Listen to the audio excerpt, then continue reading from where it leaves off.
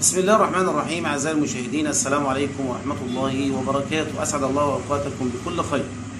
إيدو كوهين الصهيوني يقول لا نقبل أقل من اعتذار رسمي من المملكة العربية السعودية وإقالة الكائن طبعا بين قوسين يقصد الخطيب اللي هو خطيب الجمعة في مكة المكرمة الذي يعني دعا على اليهود. مع إن الخطيب لم يدعو أو لم يعمم في دعائه على اليهود وإنما قال يعني اليهود الظالمين اليهود المعتدين إلى آخر هذا الكلام. طبعا هذا التصريح أو هذا الكلام يعني من ايدو كين ايدو كين ده معروف يعني ممحكاتي يعني. راجل كده تحس إن هو يعني يعني عامل زي شغل النسوان يعني فاهم إزاي أنت؟ دايما رغاي ورطرطه كده في الكلام ولوكلوك دايما وابدا.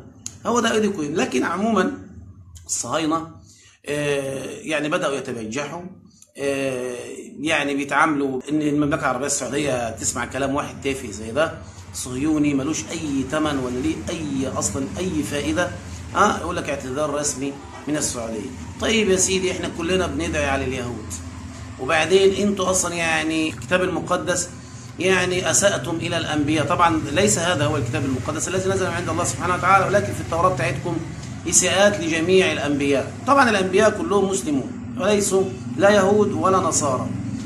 كما قال الله تبارك وتعالى وما كان إبراهيم يهوديا ولا نصرانيا ولكن كان حنيفا مسلما وما كان من المشركين. إذا هذا يعني من إيدو كين هذا تطاول. يعني طبعا إيدو كين تقريبا يعني هو كان مستشار قبل كده لشارون. إيدو كين له علاقات مع بعض الخليجيين. المهم ان بعض تصرفات الخليج جعلت فيه طمع وفيه تطاول وفيه يعني استهبال ما تعرفش من الجماعة الصهاينة دول. طبعا إحنا بنقول ليدو كهين أنا شخصيا يعني نحن لا نعتذر عن شيء هو شرعي ولا نعتذر واعلى خيلكم اركبوه شوف هتعملوا إيه. المملكة العربية السعودية مملكة بها الحرمين مملكة قوية مملكة إقليمية دولة إقليمية لها قدرها. فيعني مش حابة إنك أنت تطلع تتطاول وإنك تقول اعتذار رسمي ومش اعتذار رسمي. اعتذار رسمي عن إيه؟ أنا مش فاهم يعني بصراحة. اعتذار رسمي عن إيه؟ هنقول يعني الله الله ملعن اليهود. أنا بقول أهو لعنة الله على اليهود. فيعني أنتم ملعونون أصلا رب العالمين لعنكم أنتم مغضوب عليكم. صراط الذين أنعمت عليهم غير المغضوب عليهم ولا الضالين. فيعني لكن أنا بقول هذا التطاول وهذا التجاوز ليس من فراغ وإنما وجدوا في يعني تساهل وتهاون من الدول الخليجية. خدوا من مسألة الإمارات والانبطاح للصهاينة والتطبيع ببلاش بدون أي مقابل. خدوا من هذا لأن العرب يعني محتاجين لنا. كمان أنتم مش عايزينه تطاول ليه؟ وهو يعني يشعر أن دولة الكيان الصهيوني المحتل اللقيط هذا بتحمي الخليج. يعني أنت فاهم إزاي؟ هو بيتكلم برضه من منطلق قوة. بيتكلم إن إحنا يعني اتفاقيات في مع الإمارات والبحرين وفي تواجد صهيوني في الخليج. وحتى السعودية لم تبدي قلقها. السعودية لم تبدي أي اعتراض لوجود قوات صهيونية على حدودها في الإمارات وفي البحرين. وجود مخابراتي وجود أمني لدوله الكيان الصهيوني. فالسعودية لا تبدي.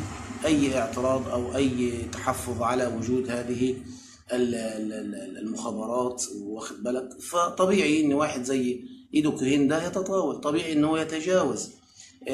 يعني إذا كنا إحنا مثلا إحنا بنروج كمان في منطقة الخليج يعني YouTuber يطلعوا يتكلموا ان عدونا إيران وإن إحنا بنتحالف مع الكيان الصهيوني ضد إيران وإن الكيان الصهيوني حبيبنا. والترويج للكيان الصهيوني على أساس إن هو مش عدو وإن هو cute وإن هو كويس جدا يعني بالنسبة لإيران واخد بالك؟ فطبعا الكلام ده كله بيخلي أشكال زي دي تت- تتطاول يعني. بيخلي أشكال زي دي يقول لك اعتذار رسمي عشان إيه عشان ويقيلوا الخطيب. ويقيلوا الخطيب. هنشوف. كتير جدا جدا من العينات دي يطلع يتجاوز ويتطاول في حق الدول العربية. ليه؟ لأن في تهاون من الدول العربية. مفيش قوة مفيش آه، مفيش وحدة حقيقية مفيش تلاحم حقيقي. كل واحد بيدور على آه، يعني انبطاحة لوحده كده واخد بالك؟ فالمفترض اني أنا وجود الصهاينه في الخليج امنيا ومخابراتيا ده يهدد أمني أنا كالسعودية. فلماذا؟ طبعا تصريح زي بتاع محمد بن سلمان لا ننظر لإسرائيل كعدو ولكن ننظر اليها كحليف محتمل. هذا أيضا يعطي بعض هؤلاء هؤلاء الحثالات ال- ال- ال- الجرأة إنه يطلع تطاول يقول لك لا نقبل إلا طب افرض افرض السعوديه ما اعتذرتش هتعمل إيه يعني؟ ما الذي تستطيع فعله أيها الصهيوني إن لم تعتذر السعودية؟ وكمان إيه, إيه تقيل هذا ويقول لك الكائن هذا حذاء أشرف من أمة من أمثالك. أشرف من الأمة بتاعتكم كلها. حذاء هذا الخطيب يعني. فخليها ما اعتذرتش يعني السعودية. ومش هتعتذر إن شاء الله. طبعا أنا بتكلم على يعني فاهم؟ ومش هتعتذر. وبعدين أنت بتملي شروط على السعودية وأنت مين أنت أصلا؟ عايز أفهم يعني انت أنت إيه؟ شغال إيه أنت؟ يعني أنت إيه أنت؟ ده حد حتى لو طلع رئيس وزراء إسرائيل نفسه. وما ما يقدرش يقول الكلام ده. فمشكلة كبيرة مشكلة كبيرة. أصبح الأقزام يمزقون نسيج الأحرار. أصبح الحثالات يعني يتطاولون على أهل الشرف وأهل الكرامة وأهل العزة.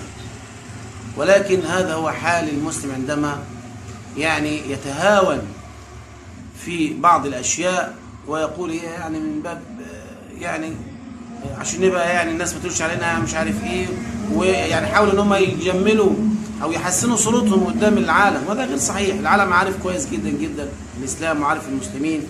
والإسلام حسن بدون تحسين من أي أحد. أنت لو ما اتكلمتش بشرع الله وما التزمتش بشرع أنت بتسيء الإسلام وأنت بتقبح صورة الإسلام.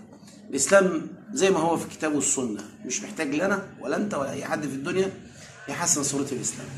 وربنا يعز السعودية وينصر السعودية وينصر جميع الأمة الإسلامية. آه، ونقول لهؤلاء الصهاينة لا تعدوا قدركم والله قدركم معروف. مهما علوتم في الأرض ومهما ومع إنكم مش عالين ولا حاجة أنتم حثالات. أنتم حثالات. ولكن يعني مهما شعرتم ب- ب- ب- بأنكم أنتم أقوياء لا أنتم زمان ادعيتوا أنه الجيش الذي لا يقهر لا. ولكن يعني المصريين مرمغوا انفكم في التراب. كسروا هذا ودمروا هذه ال ال ال ال الإشاعة الأكذوبة الكبيرة الجيش الذي لا يقهر والخط الذي لا يدمر خط بارليف والقناة التي عبرت والحمد لله رب العالمين. فلا تظن يعني نفسك إنك أنت حاجة يعني. فنسأل الله سبحانه وتعالى أن يعز الإسلام وينصر المسلمين. آمين يا رب العالمين. ونسأل الله سبحانه وتعالى أن يذل الكفر وأهله أن يذل الشرك وأهله.